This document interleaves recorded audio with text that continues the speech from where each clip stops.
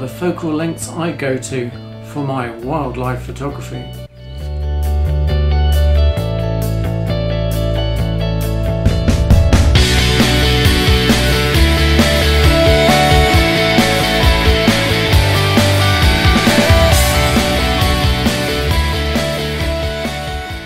Well, hello and welcome to uh, Camilla and I. This is my YouTube channel. I'm Mark Cooper and this is where we do wildlife photography and equipment reviews of the actual equipment I use. So I thought today on Camilla and I, I would go through my lens selection. So the focal lengths I use on Camilla and I go from the 90mm macro lens f2.8 to the 600mm f4. In between I've got the 135 f1.8 the 100 to 400 f5.6 to 4.5 and the 200 to 600 f6.3 to 5.6. So what I thought I'd do today is go through the reason for purchase and the order in which I purchased them for my wildlife photography. So the first lens I'd advise anybody to buy for wildlife photography is a 90mm or 100mm macro um, this one's a uh, superb lens from Sony, the f2.8. Only a G series lens, but it's the 10th sharpest lens in the world. So if you discover you haven't got the patience for small butterflies and insects, you're probably not suited to wildlife photography in the first place. So it's not a bad idea to get this lens because it also doubles as a portrait lens. Absolutely superb so uh, you won't have wasted your money. So this is definitely the first lens I would have in my wildlife collection, the macro 90mm f2.8, absolutely superb. The next lens I'd go for in the Sony range is this 200 to 600, again a G series lens. And uh, certainly you could go for a 150 to 500 millimeter or 150 to 600 millimeter zoom it's that flexibility that gets you in close enough to the wildlife. There's nothing more frustrating than seeing a subject and not being able to get close enough to it. And indeed, many people's first experience of wildlife photography is a few dots in the sky where birds are supposed to be. So this lens gives you a chance to get in close, whereas normally you wouldn't get a hope with a 70 to 200 millimeter lens, for example. So the 200 to 600 is an all-round small birding lens, I would suggest. Absolutely superb. So I definitely buy that next. The next lens I choose is the 100 to 400 f4.5 to 5.6 G Master lens from Sony, but obviously there are other equivalents and this is a superb optical lens. The reason I purchased this is for its flexibility. It's a good walk around lens all day long. You can wear it on a chest harness and um, it's not too bad to carry around. Um, it's still quite heavy but not as heavy as some of the other longer lenses and it does give you a 400 millimeter reach and also it has a macro capability it's not actually a macro lens, it won't give you one-to-one magnification, but it will give you a close focus distance of around a meter, which enables you to get a small postcard size image, ideal for a dragonfly or butterfly. So it's a one size fits all lens, this one, in the wildlife collection, and it's well worth purchasing, even though it is a bit expensive, and it's more expensive than the 200 to 600 partly because it's a G master lens. So again, it depends what wildlife you're into and how much weight you can support. This is a very good option for a lightweight setup. And indeed, you could go around all day with just a monopod very happily. The reason Camilla and I use this lens is in backup to the 90mm macro in the summer. We'll actually take round two bodies with us and one will have this lens on and the other one the 90mm macro. And this is a very good combination for dragonflies, butterflies and insects. Sometimes in wildlife photography you just want to go for sheer speed and fast action. And indeed a lot of our action happens in low light conditions.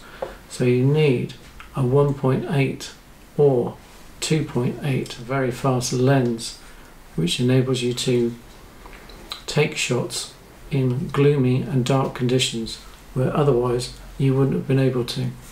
So a very useful option and that's why in our kit bag we have the 135 f1.8.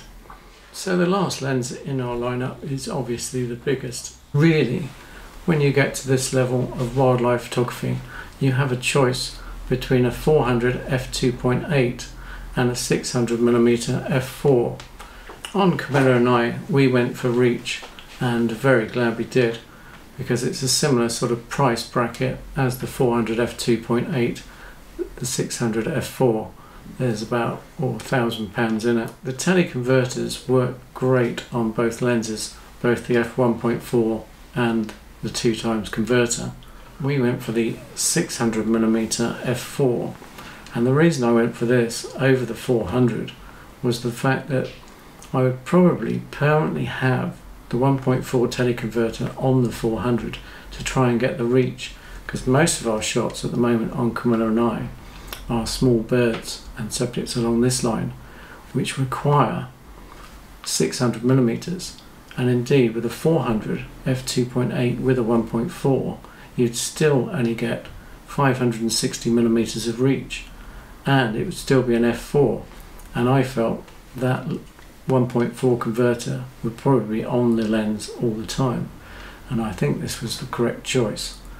And indeed if you had the two times converter on the f2.8 you'd get an 800mm f5.6 but with this I can have a 1.4 teleconverter on it and get an f5.6 840mm lens. So that's why we've gone long on this particular occasion and um, yeah I'm very glad with my decision it was a long and hard choice between the two because I wasn't going to buy both lenses. If you're in Africa or on safari, the 400 f2.8 with its lower light gathering capabilities may be better for the larger animals, but it's not what we do here on Camilla and I. As you know, we do local, accessible wildlife photography. And if we are ever allowed to leave the country again, which is looking debatable at the moment, what would I take on holiday? Well, I would take the 90 millimeter macro lens, the 135, the 100 to 400, and the 200 to 600, paired with the Sony A1 and the Sony A9 II at the moment. But we're not going anywhere apart from here. So that's why you've got another equipment review. Anyway, let me know in the comments below what's your favourite combo of uh, wildlife equipment at the moment? What do you use?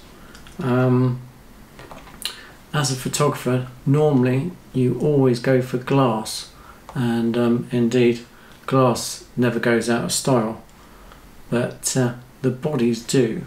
They chop and change, so it's always a good idea to invest in glass as a wildlife photographer. But does that apply today with the likes of the Sony a1, which I'm still reviewing at the moment. Um, yeah, I mean, a tremendous camera. And uh, would I buy the Sony A1 before the 600mm? A question, I suppose, for another day. But uh, yeah, at least glass never goes out of style. So yeah, again, in the comments below, what's your choice? Camera body or glass? The cameras are so good now, the sensors are so amazing. Perhaps all we'll need for wildlife in the future is a 135 f1.8 and the 70 to 200 millimeter lens. Ooh, wouldn't that be awesome? And, ooh, a lot lighter weight. Thinking of my back. Anyway, thanks for watching my extensive uh, lineup of wildlife glass and um, hopefully it's given you an idea of the sort of uh, lengths you have to go to as a wildlife photographer. Um, eventually. Uh, you don't need them all. And indeed, I spend most of my time at the moment with going around with just this combination. We're testing out the Sony A1 with the 600 f4 and uh, ooh, wow.